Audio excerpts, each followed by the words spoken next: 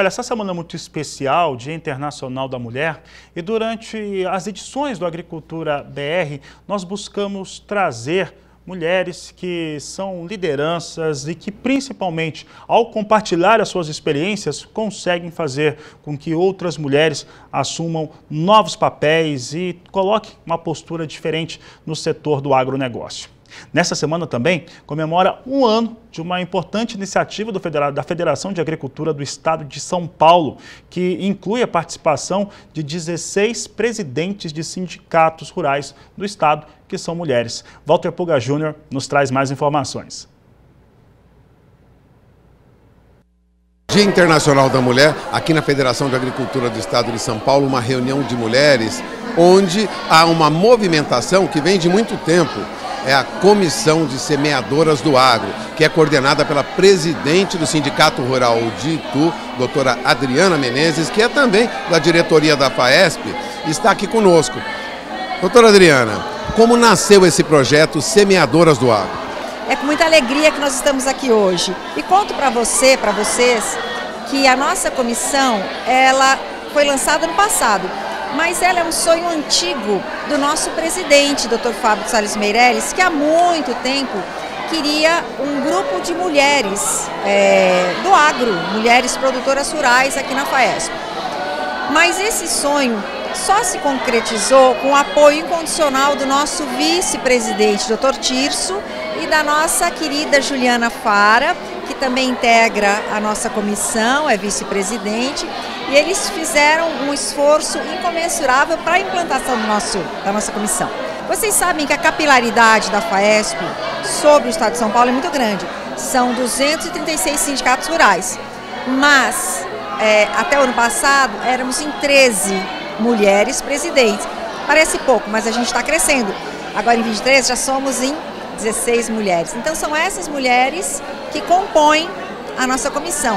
São produtoras rurais, são mulheres ligadas ao agro e que tem muito a dizer, que tem muito a acrescentar e que tem muito a semear as demais produtoras. A gente leva uma mensagem, uma orientação.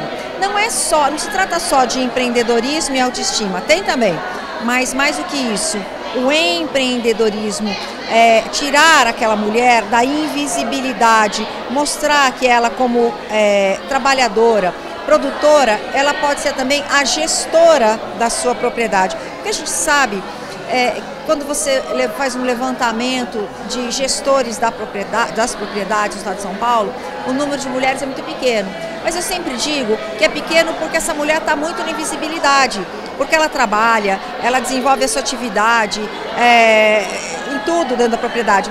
Mas na hora de tratar com o fornecedor, com o credor, é, de buscar a correspondência no correio, de ir ao mercado, quem que vai? O pai, o marido, o irmão, o tio. Então essa mulher ela está lá no desenvolvimento integral da, da atividade, mas ela não aparece e a gente quer levar essa mulher é, para a luz, fazê-la nascer como uma gestora da sua propriedade. E para isso a gente leva ferramentas, os inúmeros cursos do Senar, cursos e programas.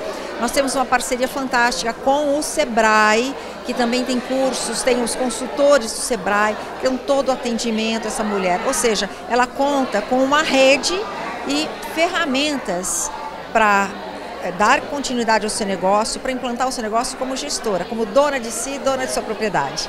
Agora para 2023, a nossa meta é andarmos 60 municípios, estarmos com 9 mil mulheres diretamente nesses 60 municípios, fortalecendo a imagem do nosso sindicato rural, da Federação da Agricultura, do Senar, do Sebrae e, e atingirmos 27 mil mulheres através desse nosso projeto.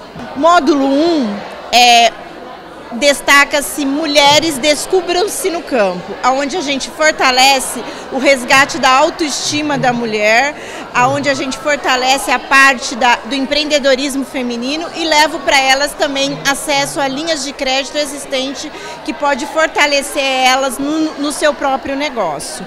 E agora nós temos também, retornando aos municípios que tivemos em 2022, com mulheres é Tempo de Semear, onde a gente leva as palestras do posicionamento no, da mulher em seus diversos papéis e a gestão da mulher desde o seu, da sua vida pessoal até o seu negócio. Em primeiro lugar, da segurança jurídica para a projeção dessa mulher do agro.